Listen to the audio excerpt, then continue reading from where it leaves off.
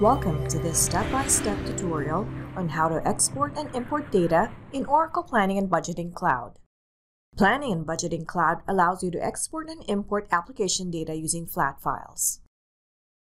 You can use the file when you need to load data to migrated or new planning applications, as a backup for your planning application data, as a template for importing data into multiple dimensions. Importing data requires a file formatted using supported delimiters.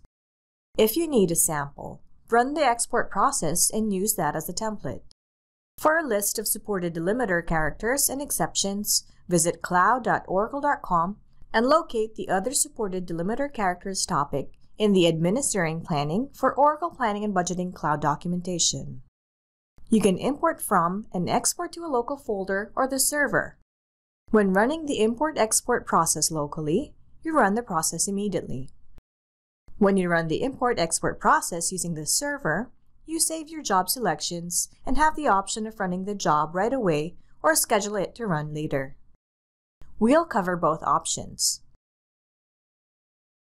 Let's start with exporting data. The location determines if you want to export to a file stored locally or on the server. I'll export to a local file. Select the cube you are exporting from. Select the file delimiter for your data file if you want to export names or labels for smart lists and if you want to include or exclude dynamically calculated members during export. In the Slice Definition section, select members for the row, column, and POV. You export asymmetric data sets. You select a dense dimension for the row, a dense dimension for the column, and the rest of the dimensions in the POV. For my row axis, I'll select account members. When selecting members, you can use filter criteria, show or hide the member alias and member counts, sort members, and refresh the page. I'll use the search feature to find specific members. I'll use function selector to make multiple selections.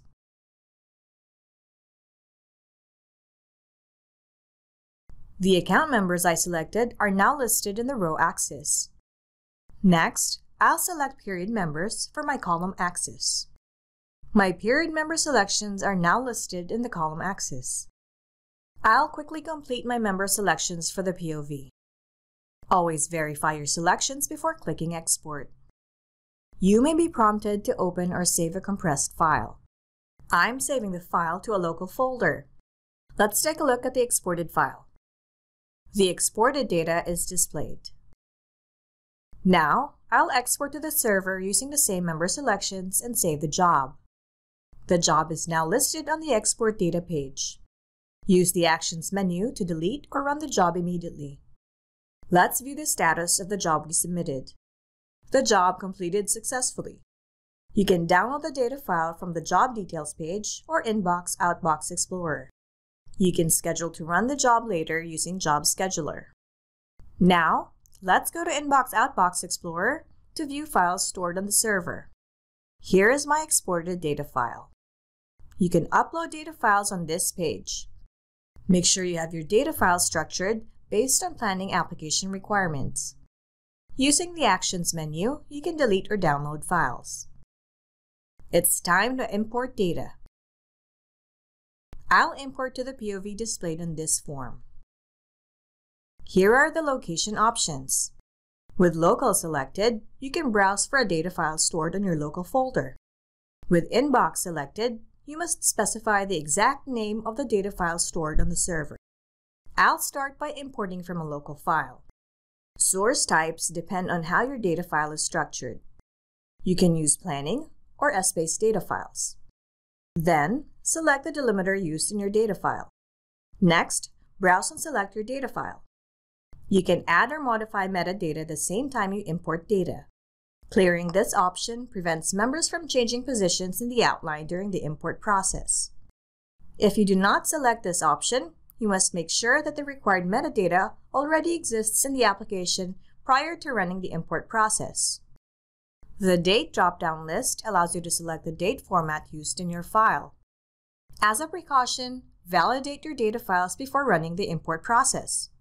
If errors are found, you can modify the file as required and revalidate it. Let's check the status of the validation job.